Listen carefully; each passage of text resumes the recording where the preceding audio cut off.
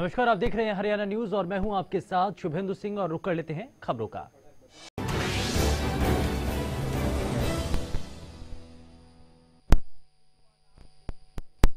नमस्कार, आप देख रहे हैं हरियाणा न्यूज़ और मैं हूँ आपके साथ शुभेंदु सिंह और रुक कर लेते हैं खबरों का।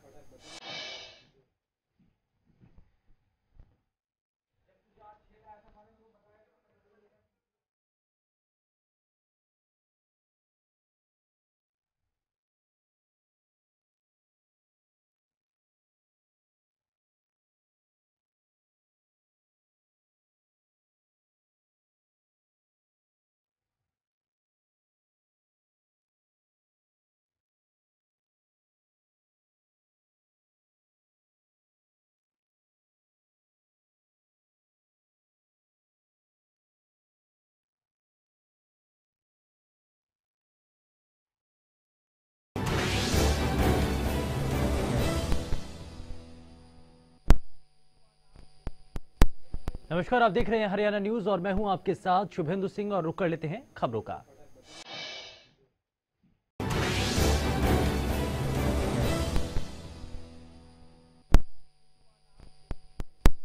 नमस्कार, आप देख रहे हैं हरियाणा न्यूज़ और मैं हूँ आपके साथ शुभेंदु सिंह और रुक कर लेते हैं खबरों का।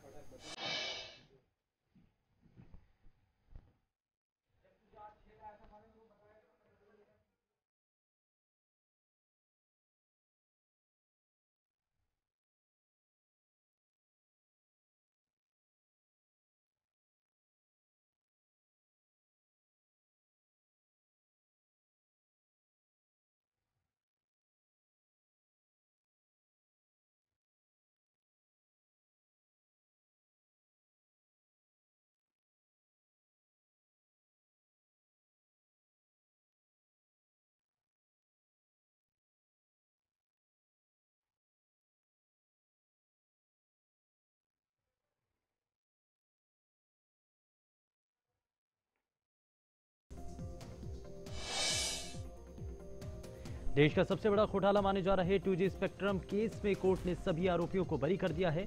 कोर्ट ने अपने फैसले में कहा कि सरकारी वकील आरोप साबित नहीं कर पाए। जज ओपी सैनी ने कहा कि अभियोजन पक्ष से ये बात साबित करने में वो नाकामयाब रहा कि दो पक्षों के बीच पैसों का लेन देन हुआ है। आपको बता दें कि कोर्ट के फैसले से पहले परिसर में भारी भीड़ थी। जज सैनी ने भीड़ के चलते आरोपियों को कोर्ट न पहुँच पाने पर कार्रवाई स्थगित कर दी। और एक बार फिर जब दोबारा कार्रवाई शुरू हुई तो उन्होंने अपने एक लाइन के फैसले में कहा कि सरकारी वकील आरोप साबित करने में नाकाम रहे हैं। टूजी घोटाले पर फैसले के बाद राज्यसभा में विपक्ष ने जमकर हंगामा किया। विपक्ष नेता गुलाम नबी आज़ाद ने राज्यसभा में इस मुद्दे को उठाया। कांग्रेस नेता कपिल सिब्बल ने भी फैसले के बाद कहा कि बीजेपी और पीएम मोदी ने इस मुद्दे को लेकर गलत माहौल बनाया और अब उन्हें इस मुद्दे पर बात करनी बंद करनी चाहिए।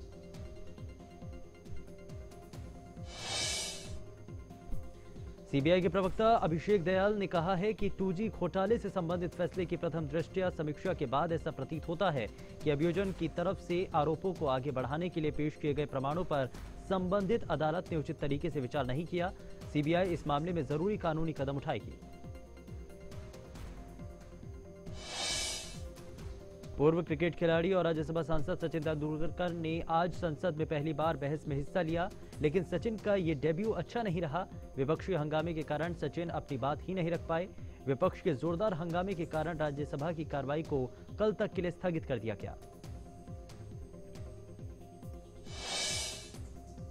टूजी घोटाले में सभी आरोपियों के कोर्ट से बरी होने पर हरियाणा में नेता प्रतिपक्ष अभय चौटाला ने सीबीआई को केंद्र की भाजपा सरकार की कठपुतली बताया। अभय ने कहा कि सीबीआई पर भाजपा सरकार का सीधा दबाव रहा है, जिस वजह से सबूतों के अभाव में आरोपी कोर्ट से बरी हो गए। वहीं एसवाइल के मुद्दे पर एनएलओ सात मार्च को दिल्ली के रामलीला मैदान में आर पार की लड़ाई लड़ने जा रही है, जिसके लिए किसानों के साथ मिलकर पार्टी हक की लड़ाई लड़ेगी। मुख्यमंत्री नीतीश कुमार ने गोपालगंज ज़िले के सासा मुसा निजी चीनी मिल के बॉयलर फटने से हुए हादसे में मरने वालों के प्रति गहरी संवेदना व्यक्त की है। मुख्यमंत्री ने इस हादसे को अत्यंत दुख दुखद बताया है और इस हादसे में मरे लोगों के परिजनों के प्रति गहरी संवेदना व्यक्त की है। फ़िल्म निर्माता संजय लीला भंसाली की फ़िल्म सी विवादों से नि, निकलने का नाम नहीं ले रही है। आपको बता दें कि करणी सेना के संस्थापक लोकेंद्र सिंह कालवी ने घोषणा की है कि यदि पद्मावती फ़िल्म को रिलीज़ किया गया तो करणी सेना दिल्ली एनसीआर में चक्का जाम कर आंदोलन करेगी। लोकेंद्र सिंह कालवी ने अपने बयान में कहा कि इस फ़िल्म में इतिहास के तथ्यों से छेड़छाड़ की गई है। रानी पद्मावती का चित्रण गलत तरीके से किया गया। रानी पद्मावती राजस्थान की आन बान और शान से जुड़ी हैं। वो रानी पद्मावती के वंशज हैं। वो रानी पद्मावती का अपमान किसी भी कीमत पर बर्दाश्त नहीं करेंगे। गुजरात में राकापा के नवनिर्वाचित विधायक कंधाल जडेजा को पोरबंदर ज़िले में कथित तौर पर दंगा करने और एक पुलिस अधिकारी की पिटाई करने को लेकर आज गिरफ़्तार कर लिया गया। हाल ही में हुए राज्य विधानसभा चुनाव में राकापा से जीतने वाले जडेजा एकमात्र विधायक हैं।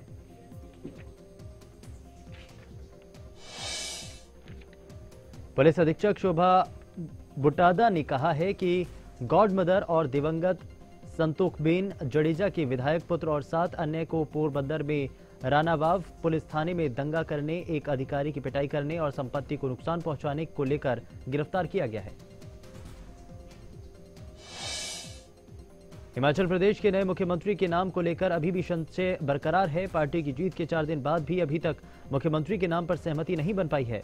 सूत्रों के अनुसार जेपी नड्डा और प्रेम कुमार धूमल दोनों रेस से बाहर हैं और पार्टी ने हारे हुए नेता की बजाय किसी विधायक को ही सीएम बनाने का निर्णय लिया है।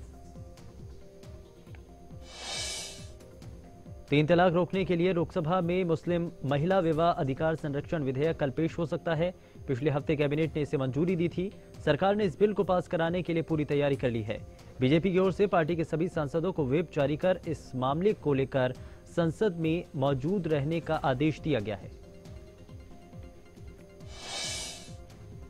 इससे पहले बुधवार को संसद में सरकार की ओर से कहा गया था कि तीन तलाक के खिलाफ विधेयक तैयार करने में मुस्लिम संगठनों से कोई विचार विमर्श नहीं किया गया और ये मुद्दा लैंगिक न्याय, लैंगिक समानता और महिलाओं की गरिमा की मानवीय अवधारणा से जुड़ा हुआ है, जिसमें आस्था और धर्म का कोई संबंध नहीं है।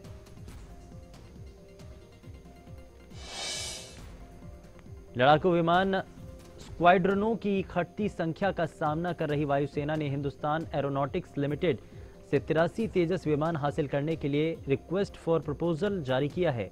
तेजस हल्के लड़ाकू विमान है और वायुसेना 40 विमानों का ऑर्डर पहले ही एच को दे चुकी है। आधिकारिक सूत्रों ने बताया है कि तेजस सौदे पर आगामी पाँच महीनों में हस्ताक्षर होने की उम्मीद है। इन तिरासी विमानों में से दस का इस्तेमाल प्रशिक्षण के लिए किया जाएगा।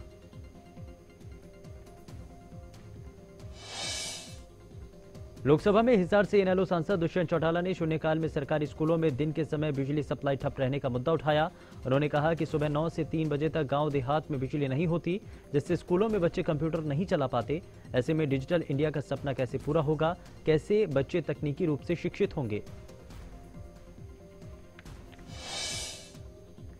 सांसद दुष्यंत चौटाला ने साथ ही बताया कि देश के सैंतीस प्रतिशत स्कूलों में अब तक बिजली नहीं पहुँची है। ऐसे में शिक्षा का अधिकार भी अधूरा है। सांसद दुष्यंत चौटाला ने सरकार से अपील करते हुए सुझाव दिया है कि स्कूलों में बिजली की कमी को पूरा करने के लिए सोलर पैनल लगाए जाएँ। चंडीगढ़ में प्रदेश के मुख्यमंत्री मनोहर लाल खट्टर ने सुशासन सहयोगियों के साथ एक बैठक की। इस दौरान मुख्यमंत्री मनोहर लाल ने अधिकारियों को कई निर्देश दिए। प्रदेश के सीएम ने कहा है कि हरियाणा में महिलाओं की सुरक्षा को सुनिश्चित करने के लिए उत्तर प्रदेश की तर्ज पर हेल्पलाइन नंबर एक शून्य नौ एक को केंद्रीकृत किया जाएगा। सीएम ने साथ ही कहा कि विशेष महिला पुलिस अधिकारियों की भी तैनाती की जाएगी। साथ ही विशेष महिला पुलिस अधिकारियों की तैनाती राज्य के दो जिलों में पायलट आधार पर की जाएगी और उसके बाद इन अधिकारियों की तैनाती प्रदेश के दूसरे जिलों में होगी। सीएम ने साथ ही कहा है कि हरियाणा रोडवेज़ में कार्यरत कंडक्टरों के व्यवहार को सर्वोत्तम करने के लिए प्रदेश के दो जिलों में पायलट आधार पर कंडक्टर्स को प्रशिक्षण दिलवाया जाएगा।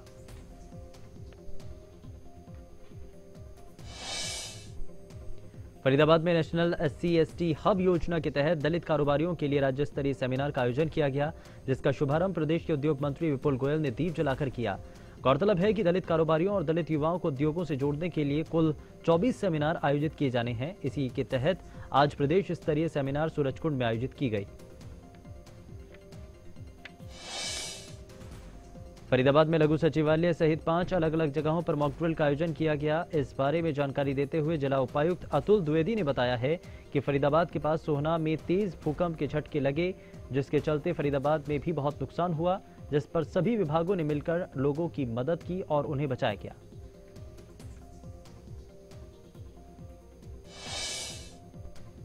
फरीदाबाद में आपदा प्रबंधन विभाग के आदेश पर की गई भूकंप को लेकर मॉकड्रिल लोगों के लिए मज़ाक बनती हुई नज़र आई।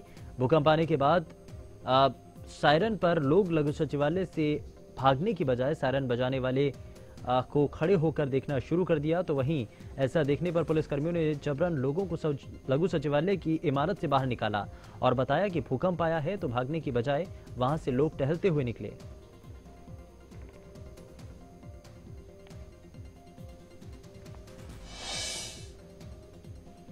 वहीं जहाँ एक और पूरे प्रदेश में मॉकड्रिल किया गया, वहीं फरीदाबाद में भूकंप आपदा प्रबंधन को लेकर की गई मॉकड्रिल केवल दिखावा साबित हुई।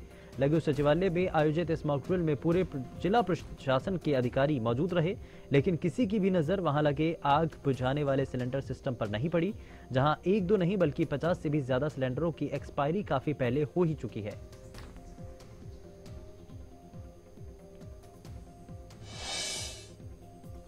रोहतक में भी प्राकृतिक आपदा से राहत कार्य पर मॉकड्रिल किया गया, जहाँ इस मॉकड्रिल में राष्ट्रीय आपदा प्रतिक्रिया बल की टीम, सेना, स्वास्थ्य विभाग, अग्निशमन, रेड क्रॉस की संयुक्त रूप से ये मॉकड्रिल की गई।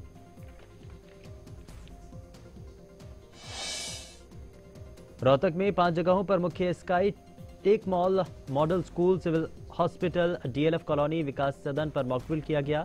मॉकड्रिल में सभी टीम के सदस्यों ने घायलों को निकालकर प्राथमिक उपचार कर एंबुलेंस से पीजीआई रेफर किया। जिला उपायुक्त यश गर्ग ने बताया कि इस मॉकड्रिल का उद्देश्य आपदा के समय कैसे बचाव और राहत पहुंचाई जाए, उसको लेकर है।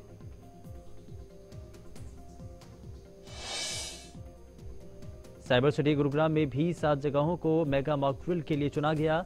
सुबह 10 बजे हुटर बजाकर लोगों को भूकंप आने की सूचना दी गई और इमारतों के अंदर मौजूद लोगों को बाहर निकालने का काम किया गया। साथ ही मेट्रो स्टेशन पर यात्रियों को सुरक्षित निकालने का अभ्यास भी किया गया। भूकंप जैसी आपदा से निपटने के लिए की गई मॉकड्रिल में ज़िले के सभी विभागों के साथ साथ सीआरपीएफ आर्मी एनएसजी को भी शामिल किया गया था। ये mock drill MGF mall MGI rail, Vihar, Laghu Sachivalaya, Wipro company, Honda company और HUDA City Centre metro station पर भी की गई थी। डेरा प्रमुख गुरमीत राम रहीम की मुंहबोली बेटी और राजदार हनीप्रीत को आज पंचकुला के सीजेएम कोर्ट में पेश किया गया। हनीप्रीत को अंबाला जेल से लाकर पंचकुला के कोर्ट में पेश किया गया। हनीप्रीत के साथ साथ पंद्रह और आरोपियों को भी कोर्ट में पेश किया गया।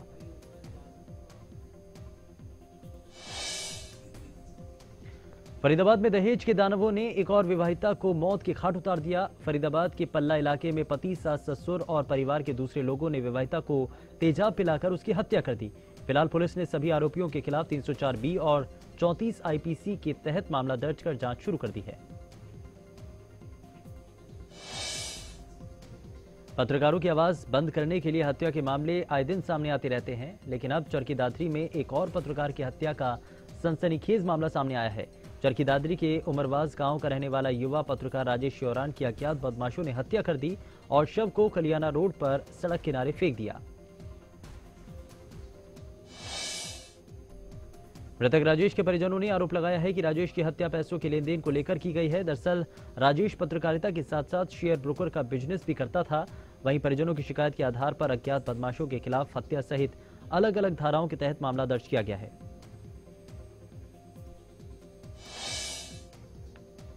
डिजिटल वर्ल्ड कंपनी मोबीक्विक के खाते से ऑनलाइन 19 करोड़ 60 लाख रुपए फ्रॉड के मामले में गुरुग्राम पुलिस के साइबर सेल ने निजी बैंक के मैनेजर को गिरफ़्तार किया है। पुलिस के मुताबिक मोबीक्विक मामले में ये दूसरी गिरफ्तारी है। पुलिस गिरफ्त में आए शख्स मुंबई का रहने वाला है और मुंबई में ही एक निजी बैंक में मैनेजर है, जिसके बाद पुलिस आरोपी को छह दिन के पुलिस रिमांड पर लेकर पूछताछ कर रही है। यमुनानगर के कस्बा मुस्तफाबाद इलाके के भगवानपुर गाँव में जहरीला पदार्थ खाने से एक पूरे परिवार के लोगों की हालत खराब हो गई। इसकी सूचना मिलते ही आसपास के लोगों ने पूरे परिवार को अस्पताल में भर्ती करवाया। अस्पताल में भर्ती होने के बाद परिवार की एक लड़की की मौत भी हो गई, जबकि दादी और दो भाई की हालत में सुधार बताई जा रही है। पुलिस ने जाँच शुरू कर दी है, लेकिन इन सभी ने क्या खाया, इसका पता अभी तक नहीं चल पाया है।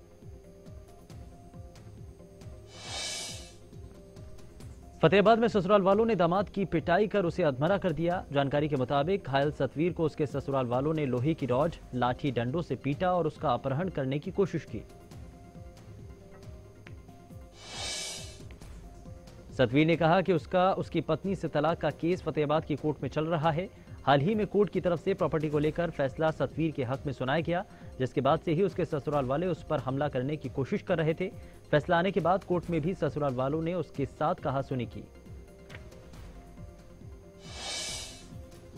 सतवीर ने कहा कि ऐसा पहली बार नहीं है, इससे पहले भी कई बार उस पर हमले हो चुके हैं। हालाँकि वारदात की सारी तस्वीरें सीसीटीवी कैमरे में कैद हो गई हैं। फ़िलहाल इस मामले को लेकर सिटी थाना के एसएचओ सुरेंद्र कंबोज ने कहा है कि आठ लोगों के खिलाफ एफआईआर दर्ज कर जाँच शुरू कर दी गई है। बहादुरगढ़ के लाइन पार इलाके के शंकर गार्डन के कूड़े के ढेर से भ्रूण मिला है। नगर परिषद के पूर्व चेयरमैन रवि खत्री ने भ्रूण होने की सूचना पुलिस को दी। पुलिस ने मौके पर पहुंचकर जाँच पड़ताल शुरू की। फ़िलहाल भ्रूण के लिंक की जाँच के लिए पुलिस पोस्टमार्टम रिपोर्ट का इंतज़ार कर रही है।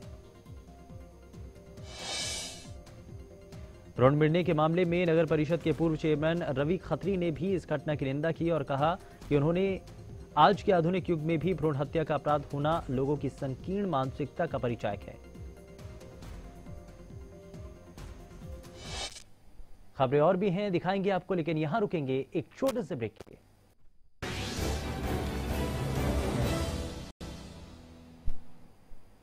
ब्रेक के बाद आप सभी का स्वागत है और रुक करते हैं अब खबरों का।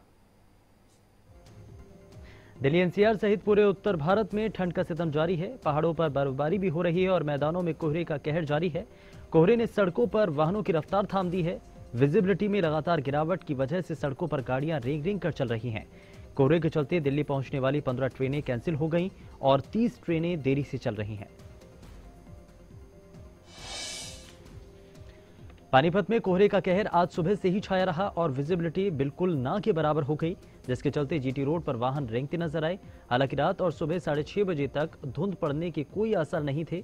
अचानक पड़ी इस धुंध से लोगों को अपने कार्यों पर पहुँचने में परेशानी हो रही है।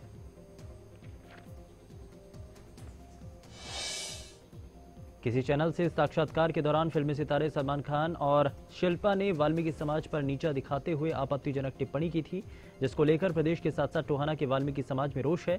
इस विवादित टिप्पणी के चलते आज वाल्मीकि समाज के लोगों की बैठक हुई। रोष मार्च निकालते हुए शहर के मुख्य भगवान वाल्मीकि चौक पर सलमान के साथ शिल्पा का पुतला जलाया गया। इस प्रदर्शन के दौरान नारेबाजी करते हुए सलमान और शिल्पा पर मामला दर्ज करने की मांग भी की गई है।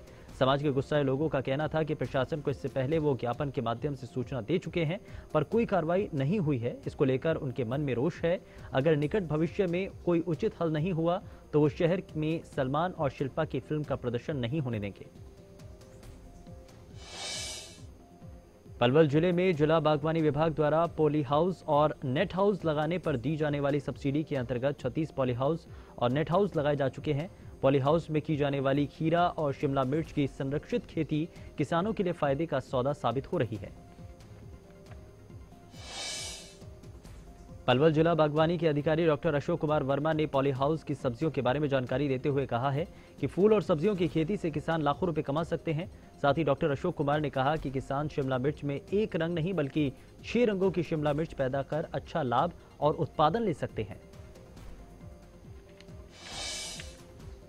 पृथला के बघौला गाँव के अंबेडकर भवन में हरिजन आंगनवाड़ी केंद्र खोलने को लेकर गाँव दो धड़ों में बट गया है, जिससे गाँव में तनाव का माहौल बन चुका है और गाँव के दोनों पक्ष मामले को लेकर विधायक कार्यालय पहुँचे, जहाँ विधायक ने समाधान का आश्वासन दिया है। एक पक्ष आंगनवाड़ी केंद्र को गाँव से बाहर बनाए जाने की मांग कर रहा है तो वहीं दूसरा पक्ष कहता है कि आंगनवाड़ी केंद्र गाँव से बाहर बनाने से बच्चों और महिलाओं की सुरक्षा खतरे में आ सकती है, क्योंकि कई लोग वहाँ बैठकर शराब पीते हैं और जुआ खेलते हैं। वेतन न मिलने से नाराज़ बल्लभगढ़ नगर निगम के कर्मचारियों ने नगर निगम के मेन गेट पर ताला लगा दिया है। नगर निगम के 7000 से ज़्यादा कर्मचारियों को इस महीने का वेतन नहीं मिला है और इसी के चलते कर्मचारी परेशान हैं। नाराज़ कर्मचारियों ने सरकार और अधिकारियों के खिलाफ जमकर नारेबाजी की और वेतन मिलने तक धरना जारी रखने का ऐलान किया। गोहाना के धनाना गाँव के कनोहर ब्रांच टूटने से आज 600 एकड़ ज़मीन पानी में डूब गई है, जिसके साथ ही पानी लगातार खेतों में बढ़ रहा है। अभी तक पानी को रोकने के लिए विभाग की ओर से कोई पुख्ता इंतज़ाम नहीं किए गए। किसानों का आरोप है कि नहर में क्षमता से ज़्यादा पानी छोड़ा गया, जिसकी वजह से ओवरफ्लो होकर नहर ने कटाव शुरू कर दिया है। नहर में पानी छोड़ने को लेकर किसान ने कहा है कि नहर की सफ़ाई तक नहीं हुई है, जिससे नहर में पानी कहीं तो ज़्यादा तो कहीं कम हुआ है। नहर के टूटने से किसानों की खेती में खड़ी गेहूँ की फ़सल पूरी तरह से बर्बाद हो चुकी है। किसानों ने सरकार से मांग की है कि वो जल्द से जल्द इस ओर ध्यान दे। कुरुक्षेत्र में तीन दिवसीय राज्य स्तरीय कला उत्सव का शुभारंभ किया गया। कला उत्सव का आयोजन हरियाणा स्कूल शिक्षा परियोजना परिषद की ओर से किया गया। इस मौके पर कुरुक्षेत्र के उपायुक्त सुमेधा कटारिया ने मुख्य अतिथि के तौर पर शिरकत की। कला उत्सव के मौके पर मुख्य अतिथि उपायुक्त सुमेधा कटारिया ने कहा है कि प्रतिस्पर्धा और स्पर्धा के आयोजन से विद्यार्थियों की न केवल प्रतिभा निखरती है, बल्कि उनका विश्वास भी बढ़ता है। ऐसे आयोजनों से विद्यार्थियों में मंच के प्रति रहने वाली झिझक दूर होती है और आत्मविश्वास का संचार होता है। सर्व शिक्षा अभियान के जिला समन्वयक अरुण आत्री ने कहा है कि तीन दिवसीय राज्य स्तरीय कला उत्सव में प्रदेश के 22 जिलों से कक्षा 6 से 8 वर्ग के 800 विद्यार्थी अलग अलग प्रतिभागों में हिस्सा ले रहे हैं। इस आयोजन में समूह गान समूह नृत्य, विजुअल आर्ट्स और थिएटर की प्रतियोगिताओं को शामिल किया गया है। गुजरात के रहने वाले नट्टू भाई सीनियर सिटीजन के लिए जीवन साथी की तलाश में जुटे हुए हैं, जो बुज़ुर्ग किन्हीं कारणों से अपना जीवन साथी खो चुके हैं, उन्हें नट्टू भाई बीते आठ साल से ऐसे बुज़ुर्गों की 136 से ज़्यादा परिचय सम्मेलन करवाकर शादी करवा चुके हैं। इसी मुहिम के तहत गुरुग्राम में 24 दिसंबर को बुज़ुर्गों का परिचय सम्मेलन होगा। कटक की टी ट्वेंटी में टीम इंडिया ने श्रीलंका को तिरानवे रनों से मात देते हुए रनों के लिहाज से ये भारत की सबसे बड़ी जीत है। इसी के साथ ही रोहित ब्रिगेड ने तीन मैचों की टी ट्वेंटी सीरीज़ में एक शून्य से बढ़त बना ली है। भारतीय कप्तान रोहित शर्मा ने श्रीलंका के खिलाफ पहले टी ट्वेंटी मैच में जीत का श्रेय पूरी टीम को दिया। मैच के बाद रोहित ने महेंद्र सिंह धोनी की जमकर तारीफ़ की। उन्होंने कहा कि धोनी को चौथे नंबर पर उतारना सही फैसला रहा।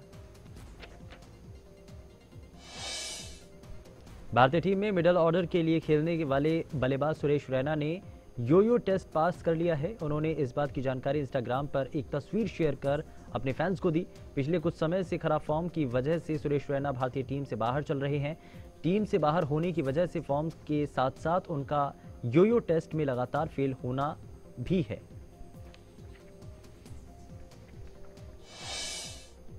भारतीय महिला कप्तान मिताली राज को आईसीसी की सालाना वनडे टीम में चुना गया, जबकि बाएँ हाथ की spinner Ekta Bisht one day और टी दोनों टीमों में जगह बनाने वाली एकमात्र क्रिकेटर रहीं।